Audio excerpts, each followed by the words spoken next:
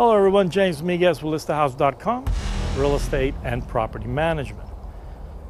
To the point.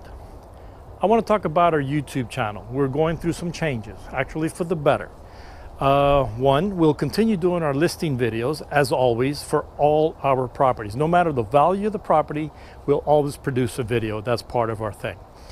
Uh, two, I'll be doing a James vlog segment as well. I'll be talking uh, about the different properties that we have listed. I'll give you a little bit more insight about the property, give a little bit more information about the area.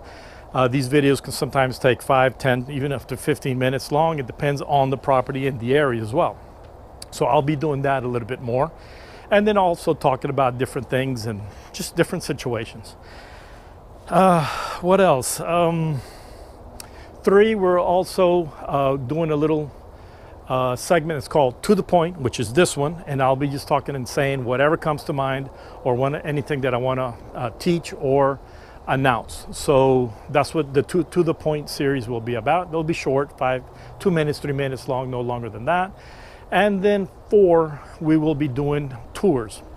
What do I mean by tours? We'll be doing city tours, we'll be doing walking tours, we'll be doing uh, driving tours, and even boating tours for our, for the boat lovers who know what what. So if you have a boat, you want to know where to, you can buy a house with a canal behind you.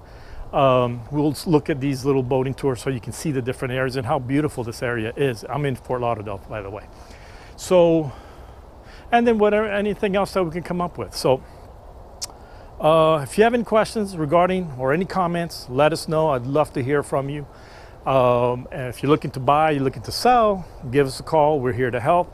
And what else? Obviously, you know the routine. If you like the videos, like it, subscribe, the whole thing, that will just definitely help us out. So, yeah, I think that's it for today.